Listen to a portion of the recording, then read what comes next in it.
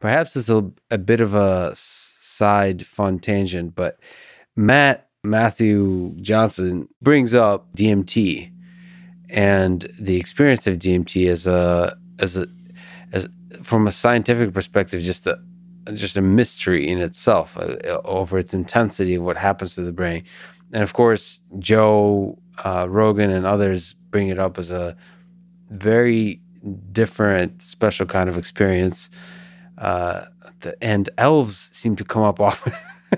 I've never tried DMT. What allows for hallucinogenic states? Yes. And it, I mean, DMT is a really interesting molecule. There, there are a lot of people experimenting now with um, DMT, um, and they just the way they've described it is as a kind of a freight train through space and time. Very mm-hmm. different than the way people describe LSD type experiences or psilocybin, where time and space are very fluid, but it tends to be a kind of a slower roll, if you will.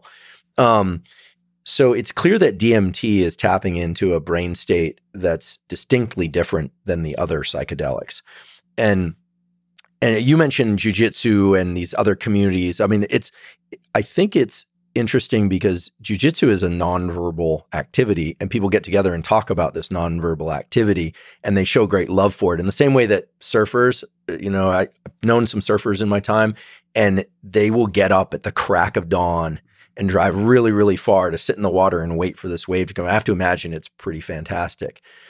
I think that human beings now some of whom are in the scientific community are starting to feel comfortable enough to talk about some of these other loves and other endeavors because they do reveal a certain component about our underlying neurology. Mm-hmm. I'm fascinated by um, the concept of wordlessness, activities in which language is just not sufficient to capture, and in which feel so vital as a reset, as important as sleep.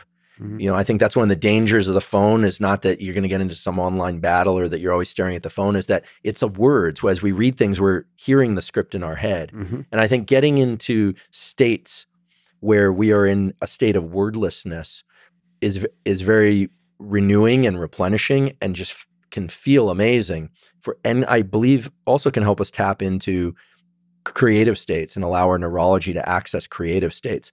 And sleep is one such wordlessness mm. period.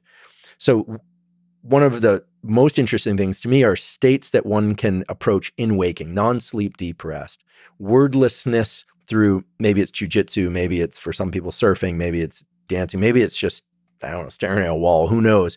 But where the language components of the brain are completely shut down and it has to be the case that drugs are no drugs, that the brain is entering and starting to states and starting to use algorithms that are distinctly different than when we're trying to compose things in any kind of coherent way for someone else to understand. There's no interest in anyone else understanding what you're experiencing in that moment.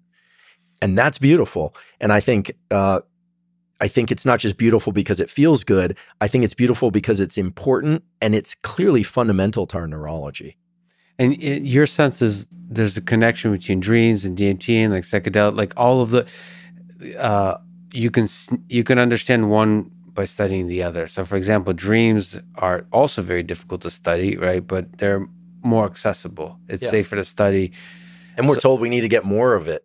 Whereas with psychedelics, there's this big question mark: Is it going to make everyone crazy?